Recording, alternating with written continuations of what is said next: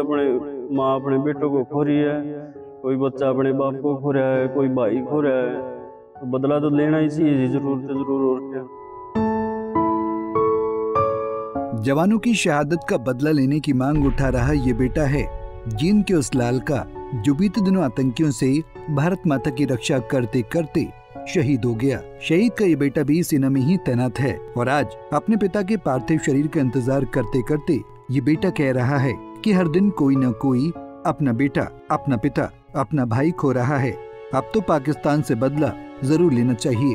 हर रोज अपने माँ अपने बेटों को खो रही है कोई बच्चा अपने बाप को खो रहा है कोई भाई खो रहा है तो बदला तो लेना ही चाहिए ज़रूर तो ज़रूर और क्या। दरअसल सीआरपीएफ में इंस्पेक्टर के पद पर तैनात चौवन वर्षीय कुलदीप मलिक बीते दिन जम्मू कश्मीर के उधमपुर के बसंतगढ़ इलाके में आतंकियों के हमले का शिकार हो गए। और जैसे उनकी शहादत की खबर आई, गाँव निडानी में मातम पसर गया।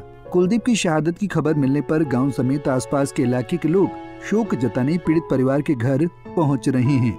शहीद कुलदीप के दो बेटे हैं, नवीन और संजय। नवीन सेना में तैनात है और संजय रेलवे पुलिस में अपनी सेवाएँ दे रहा है। चौदह साल पहले खेल कोटे से कुलदीप मलिक सीआरपीएफ में भर्ती हुए थे और अगले दिन डीएसपी के पद पर प्रमोट होने वाले थे। नवीन ने बताया कि अभी हाल में मेरी पापा से फ़ोन पर बातचीत हुई थी। तो मैंने कहा था कि पापा आतंकियों से बच के रहना। तो जवाब में उन्होंने कहा कि बेटा मैंने बहादुरों वाली ज़िंदगी जी है और वही जिएँगे। बस वही उम्मीद थे जी। कुछ ले गए अब रह ही क्या गया अब हमारे पास। तो आपकी लास्ट बात कब हुई थी? क्या बात मेरी कल हुई थी जी सुबह। तो कल तो वार था तो उसके उसमें बात हुई थी। क्या बात हुई थी? क्या बोले? भाई यही कि बस त्योहार अच्छे से मनाना अपना आराम से रहना प्यार से। तो आने के लिए भी बोल रहे थे? हाँ अगले महीने जन्मदिन है जी मेरा उस पे आने की बोल रहे थे।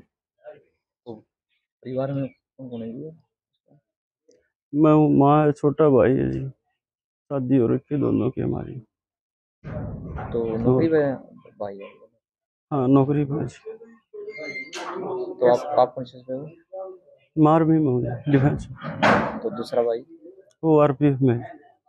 फौज के बारे में जी क्या बताता था जी वहाँ जो कैसे था क्या होता है क्या? बस वो ऑपरेशन चले रहे हैं दो तीन महीने से ज़्यादा बढ़ गया ये टेररिस्ट वाला तो वहाँ ऐसे ही वहाँ पापा बच के अपने ध्यान से बोला बेटा बहादुर वाली ज़िंदगी जी है अपन ने वो जीते रवांगे। तो ये तीन महीने इस तरह की मामले सामने आ रही हैं। तो कुछ एक्शन लेना चाहिए, यानी कि पाकिस्तान से बदला ले लेना चाहिए। हम बदला तो लेना ही चाहिए जी, और हर रोज अपने माँ अपने बेटों को खो रही है, कोई बच्चा अपने बाप को खो रहा है, कोई भाई खो रहा है तो बदला तो लेना ही चाहिए जी, ज़रूर तो ज़रूर, और क्या। जानकारी के मुताबिक, बीते दिन दोपहर तीन बजे के बाद सीआरपीएफ और जम्मू कश्मीर पुलिस के जवान उधमपुर के बसंतगढ़ इलाके में गश्त कर रहे थे। इसी बीच आतंकियों ने हमला कर दिया, जिसमें सीआरपीएफ इंस्पेक्टर कुलदीप मलिक शहीद हो गए। कुलदीप की शहादत पर परिवार वालों में गम भी है और गुस्सा भी। उनका कहना है कि अब पाकिस्तान को मुँह तोड़ जवाब देने का वक्त आ गया है। जी, बहुत नरम स्वभाव था भाई का। सारे गाँव से मिलनसार थे। किसी को कुछ कहते नहीं, कोई कह देता था। तो चुपचाप घर आ जाते थे ऐसी कोई बात नहीं थी। कभी किसी के साथ कोई कया सुनी नहीं हुई कभी कुछ नहीं हुआ उसका उनके साथ। पैंतीस साल से नौकरी कर रहे थे वो चौंतीस साल हो गए थे पैंतीसवां साल उनको नौकरी में लग गया था स्पोर्ट्स कोटे से भर्ती हुए थे। और हमारे गाँव के लगभग साढ़े तीन सौ चार सौ बच्चे फौज में सी में सी आर पी एफ़ में और आर्मी में इसमें नौकरी करते हैं। और बहुत ही मिलनसार है गाँव में सारी अच्छी- तीन महीने से तो बहुत ज़्यादा मामले हो रहे हैं जी। सरकार ने इसके ऊपर एक्शन लेना चाहिए, इस पर पाकिस्तान पर अटैक करना चाहिए। हर दूसरे दिन की खबर आती है कि आज यहाँ शहीद हो गया तो वहाँ शहीद हो गया, हमारे जींद में चार पाँच शहीद हो लिए और हरियाणा बाकी है। इसमें तो सरकार ने बहुत ही ज़्यादा कार्रवाई करनी चाहिए।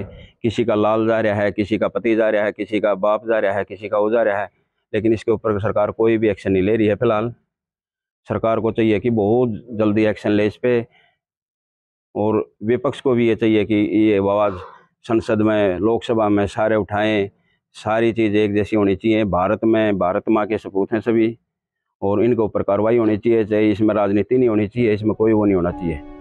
जीन के गाँव निडानी के करीब साढ़े तीन सौ युवा सेना सीआरपीएफ और बीएसएफ में तैनात हैं। पिछले कुछ महीनों में अकेले जीन से ही दो जवान आतंकियों के हमले में शहीद हो गए और पिछले कई दिनों से जवानों की शहादत की घटनाएँ बढ़ती जा रही हैं। ऐसे में कुलदीप की शहादत के बाद परिवार ही नहीं, बल्कि पूरा निडानी गाँव, केंद्र की मोदी सरकार से बड़ी कार्रवाई की मांग कर रहा है। बता दें कि शहीद कुलदीप मलिक का पार्थिव शरीर आज शाम तक घर पहुँच सकता है, जिसके बाद शहीद को राजकीय सम्मान के साथ अंतिम विदाई दी जाएगी। जीन संबंधी पिलानिया, पंजाब केसरी टीवी। हमसे जुड़े रहने के लिए हमारे YouTube चैनल को सब्सक्राइब करें और नई वीडियो की नोटिफिकेशन के लिए बेल आइकॉन को दबाएँ। अगर आप ये वीडियो Facebook पर देख रहे हैं तो लाइक ज़रूर करें और ज़्यादा से ज़्यादा शेयर करें धन्यवाद